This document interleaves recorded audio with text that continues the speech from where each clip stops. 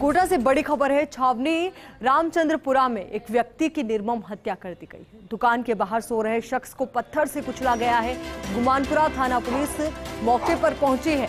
अब हर एक एंगल से इस पूरे मामले की जाँच पड़ताल की जा रही है कि आखिर हत्यारों की क्या नियत रही, इस हत्या के पीछे क्या वजह, इस हत्या के पीछे इस बात को लेकर के हर एक एंगल से जाँच पड़ताल की जा रही है। आसपास के सीसीटीवी कैमरों को भी खंगाला जाएगा। तो कोटा से बड़ी खबर है। छावनी रामचंद्रपुरा में एक व्यक्ति की निर्मम हत्या कर दी गई है। दुकान के बाहर सो रहे शख्स को पत्थर से कुचला गया है।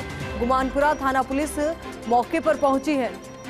अब इसी खबर को लेकर ज़्यादा जानकारी के साथ हमारे सहयोगी गुल मोहम्मद हमारे साथ जुड़ चुके हैं। गुल, क्या कुछ जानकारी इस हत्याकांड को लेकर अब तक? हाँ जी, देखिए आयुषी आज सुबह जो है पुलिस सूचना मिली कि एक दुकान के बाहर जो है खून से सना हुआ जो है, शव मिला, पड़ा हुआ है।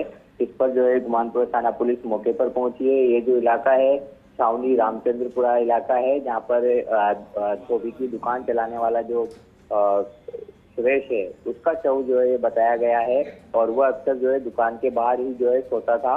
इसके पीछे पुलिस ने जो है मौके से, जो है बारीकी से जो है सबूत एकत्र किए हैं और पता लगाया जा रहा है कि यह हत्याकांड क्यों हुआ है और जो इस तरह से पत्थर जो है पास में खून से तने हुए पड़े हुए हैं तो संभावना जताई जा रही है कि जो हत्या हुई है, वो पत्थर से कुचल कर ही हुई है। अभी फ़िलहाल पता नहीं लग पाया है कि सुरेश को जो है किसने मारा और क्यों मारा है, लेकिन पुलिस जो है इसकी जो है बारीकी से पड़ताल शुरू कर दी है और जो हत्यारे हैं उनका सुराग लगाने में जुटी है। आसपास के जो सीसीटीवी फुटेज है उनको भी जो है चेक किया जा रहा है। अ, अभी पुलिस इस एंगल पे भी बात कर जाँच कर रही है कि सुरेश की जो है किस किससे जो है पिछले दिनों जो है झगड़ा हुआ था और किससे जो है उसको दुश्मनी थी और किससे उनको खतरा था।